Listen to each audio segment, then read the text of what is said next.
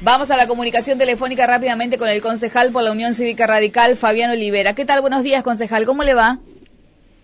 Hola chicos, ¿cómo andan? Buen día, ¿cómo están? Muy buenos días, concejal. Queremos saber un poco...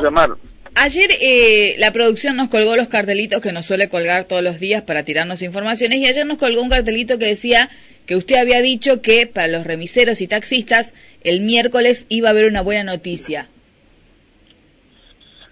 Sí, Sí, sí. Eh, nosotros hemos en la comisión siempre hemos trabajado en forma de consenso, eh, en conjunto también con ambos bloques y, escuchando siempre a los dueños de empresas de remise y personalmente con cada chofer que uno pueda hablar. Hemos mm, siempre tratamos de, de, buscar un punto medio para que el remisero pueda seguir trabajando y el vecino que ocupa el remis también pueda seguir ocupando el remis pero fundamentalmente más allá de, este, de, esta posibilidad que creo que vamos a, darle una mano en el sentido que comprendemos los inconvenientes inflacionarios que tiene el, remisero, eh, también lo que se pretende es acá es también que la municipalidad sea más rigurosa con el con el control con los remiseros, porque no es solamente dar aumento de tarifa o no, sino que también el, el remis tiene otro inconveniente, como por ejemplo la competencia de Leal. Hasta el día de hoy, en la ciudad de Formosa siguen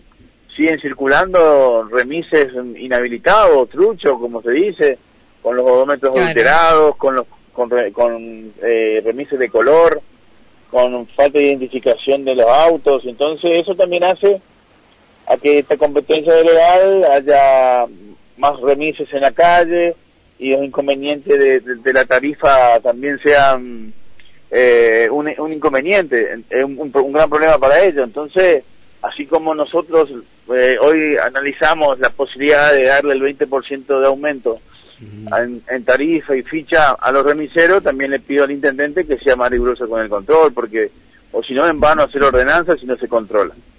Sí, además, este el tema de las tarifas, por ejemplo, a, la mañana tienen, por ejemplo, tarifa 1 y después, pasada las 10 de la noche, tarifa 2, tarifa 3, tarifa lo que se le antoje. No existe eso, la verdad que no existe. Eh, no, no, no, existe tarifa diferenciada, tampoco existe, y eso aprovecho esta oportunidad para que, ya que me, la están dando, para comentarle que tampoco es un gran inconveniente eh, y eh, de, de, de estafa al vecino esos mm, paradas donde arrancan con un plus, porque por ejemplo no hay tarifa diferenciada para el vecino que viene de la terminal o, el aeropuerto. Entonces eso hay que denunciarlo, acá hay una sola tarifa. En la actualidad es 10,50 la bajada de bandera y 65 centavos la ficha. no hay otra ordenanza, no hay otra otra ordenanza que cambie eso y tampoco hay una hay esa sola tarifa en cualquier horario que el vecino ocupe el remis. Claro, aprovecho ahora que me está diciendo esa tarifa diferenciada del aeroparque o del o de la terminal. Te cobra una barbaridad desde la terminal, en serio, a cualquier lugar cuando llegas de viaje. La última vez hice 10, 15 cuadras y me cobraron 70 pesos de la desde la, terminal. Una barbaridad. Una barbaridad. Bueno, eso no es justamente, eso no es no es responsabilidad ya de los concejales, eso es responsabilidad del intendente por la falta de control que tiene hacia los remiseros, digamos, ¿no? Porque ¿qué sirve nosotros hacer las ordenanzas en cuanto a identificación de vehículos o que la municipalidad tenga que el convenio con el INTI para que los odómetros que, que circulen o que tengan los remiseros estén avalados, no sean adulterados? Entonces me parece que si nosotros podemos todo el empeño de mejorar el servicio de remis, si nosotros pretendemos que los remiseros que están en forma legal trabajen bien, puedan seguir sosteniendo su fuente de trabajo y a la vez la municipalidad permite que haya tantos remises en la calle, ilegales o truchos, me parece que todo lo que se haga es en vano, ¿no? Y no es la primera vez que nos sorprende al intendente haciendo oídos sordos o haciéndose el distraído en ordenanzas concretas como hay en cuanto al remis, lo mismo pasa con el colectivo. ¿Y en el caso de los colectivos, concejal, va a haber también aumento en la tarifa del boleto? Mira, el lunes el lunes eh, la empresa Ciudad de Formosa va a presentar, según tengo entendido, un balance, un estado de costo con respecto a, al fundamento que pretende que pretende realizar la empresa para aumentar los costos del pasaje. Eh, bueno, lo mío ya es público, ¿no? El, eh, no coincido con la política de transporte urbano del intendente de Vido. Hace mucho tiempo vengo diciendo que haber monopolizado un servicio tan importante como el transporte urbano, dejar en, manos de solo de, solo una empresa como la empresa Ciudad de Formosa que recibe subsidios multimillonarios y que lo único que ha hecho en contraprestación a eso, dolores de cabeza, reniego y hartazgo del, del vecino de la ciudad. Me parece hoy un despropósito en el peor momento del transporte urbano de pasajeros de, la ciudad, de, Ciudad de Formosa pedir un aumento. ¿Qué le pareció las fotografías que andan rondando por el por las redes sociales de los nuevos móviles Ciudad de Formosa? Bueno, mira, es una especulación indudablemente de la empresa. Yo mm, yo he subido en las redes sociales las nuevas unidades. eh, todo, todo los todos los todos los todos los mm, colectivos que tenga la empresa, ande o no anden, están recibiendo subsidio. Eso es lo que más impotencia y bronca me da que el intendente en vez de ponerse del lado del, del vecino haga oído sordo a este tipo de cosas o, o se haga el distraído. Eh, yo, yo lo que pretendo que, que la empresa mejore su servicio porque los vecinos de la ciudad de Formosa ya eh, se le ha terminado la paciencia con esta empresa. Y lamento mucho, sí, perdón. No, está bien. ¿Cuántos eh, ¿cuántas empresas entraron en la licitación? Se presentaron a licitar por esas cinco líneas. En la actualidad hay tres empresas nuevas y más Ciudad de Formosa. Otra vez Ciudad de Formosa. Hasta, hasta el día de hoy hay cuatro empresas con Ciudad de Formosa incluido que han comprado el pliego. Vamos a ver el 12 de mayo quién va, cuando se haga pública las ofertas, vamos a ver quién gana. Ojalá Dios quiera que gane cualquiera menos Ciudad de Formosa.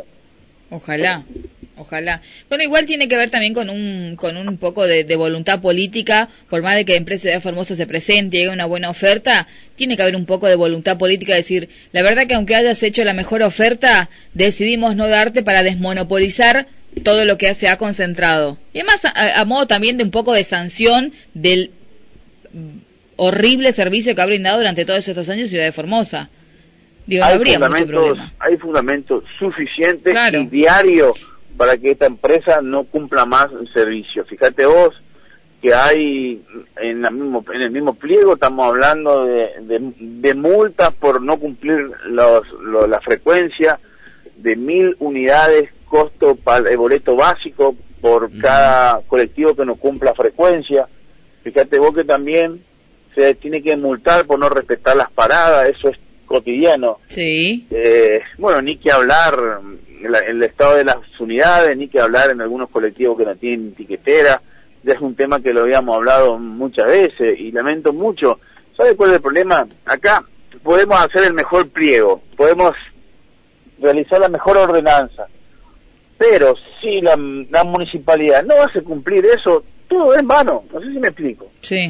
Entonces, podemos realizar el mejor pliego y que vengan muchas empresas, pero me parece que esta actitud del intendente de, de permitir nuevamente que la empresa Ciudad de Formosa, después de haberle escuchado al gerente diciendo diciendo que el que el negocio del transporte urbano es un fracaso, no es ya no es más negocio el transporte urbano y, y al día siguiente sale y compra el pliego, indudablemente hay contradicciones. Entonces me parece, me parece que el intendente si fuese más más, más riguroso con el control, es lo mismo pasa con las empresas constructoras. Hay empresas que han realizado obras en los últimos años de gestión debido y en vez de multarle y nunca más darle una obra, siguen haciendo pavimentaciones que han durado días, meses. Entonces, hay una atomización, hay una soberbia, hay un, ¿Qué pasa? una actitud muy, muy muy relajada del intendente con respecto a estos temas que son graves, porque acá sabemos que todo eso que se está haciendo eh, eh, eh mal, los perjudicados son los vecinos. Imagínese el vecino que estaba esperando que se le pavimente cuántos años su calle y después le pavimentan y dura 10 días la pavimentación, ¿no?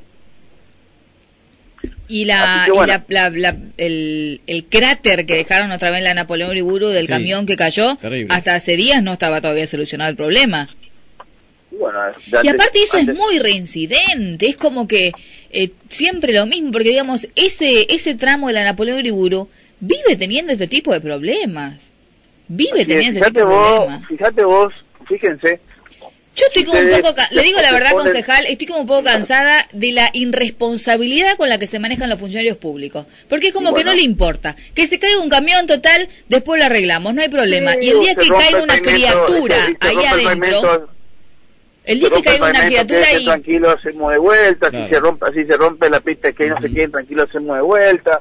Pero acá hay un problema, es doble gasto. ¿No? El obligato, fíjense lo que está pasando en la avenida, en la en el barrio Villahermosa, ¿no? En el barrio Villahermosa se rompió el pavimento que se hizo ahí el año pasado, está todo roto y se vuelve a repavimentar. O sea, el vecino que esperaba el pavimento en el barrio Villahermosa, de la, de la calle Segunda Sombra, que se está pavimentando ahora, o la, eh, la cuarta, o la, la moratalla, ¿qué le podemos decir a ese vecino que todavía está esperando el pavimento si van a pavimentar dos veces la misma calle? Sí, bueno, o van a arreglar de vuelta la avenida Tunquín, que, la, que era la, la avenida Vinaldi, esa, ese pavimento de hormigón que también duró muy pocos días. Pero además del gasto, además del gasto que sin lugar a dudas genera para el, para el municipio y para nosotros, porque también aportamos a través de los impuestos, además del gasto, es la irresponsabilidad, concejal, de estar contratando empresas que no funcionan y si mañana la pista de skate se rompe y cae un chico y se rompe la cabeza, ¿qué pasa con eso? Si en un pozo cae un chico adentro y, termina, ojalá nunca ocurra en una situación fatal, digo, va también mucho más allá de la irresponsabilidad, o sea, ser funcionario público no es tratar de contratar empresas y administrar como mejor nos parezca, digo, tiene que ver con un, paso más allá, la, responsabilidad de, de todo del bien común que nos tiene con, con los ciudadanos completo. Sí, consigo como, bueno, es lo que hablábamos, ¿no? Eso creo que es la acumulación de poder mm, de una gestión donde la verdad que nosotros, yo soy crítico con las cosas que se hacen muy mal y, y soy crítico porque me pongo del lado del vecino y siento que el vecino espere una hora cuarenta un colectivo o siento que el vecino que esperaba tanto tiempo un pavimento que en día se, se rompa. Así que y le digo la verdad, a nosotros, y es lo que me pasa a mí como ciudadana, eh, sacándome un poco del lado del rol del periodista, es lo que me pasa a mí como ciudadana. Me parece que eso no tiene que ver con si subo un radical o subo un peronista o subo un socialista o subo un comunista. Me parece que tiene que ver ya con la honestidad de cada persona.